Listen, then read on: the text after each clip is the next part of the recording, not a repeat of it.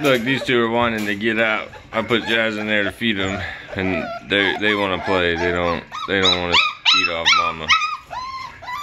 Look at them. Oh, Chico and Red. They are ridiculous.